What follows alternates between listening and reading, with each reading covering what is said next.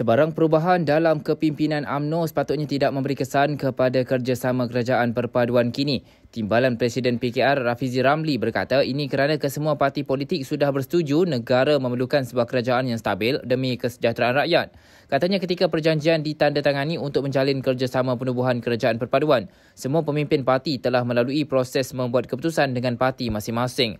Oleh itu sepatutnya perubahan kepimpinan mana-mana parti tidak akan mengubah kerjasama parti dalam kerajaan perpaduan.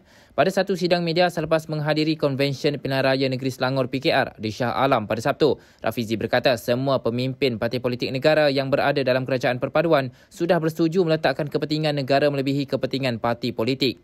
Mengenai desas-desus kerjasama Barisan Nasional BN dengan Pakatan Harapan dalam PRN akan datang, Rafizi berkata sememangnya keputusan mengenai perkara itu akan dibuat oleh kedua-dua pihak.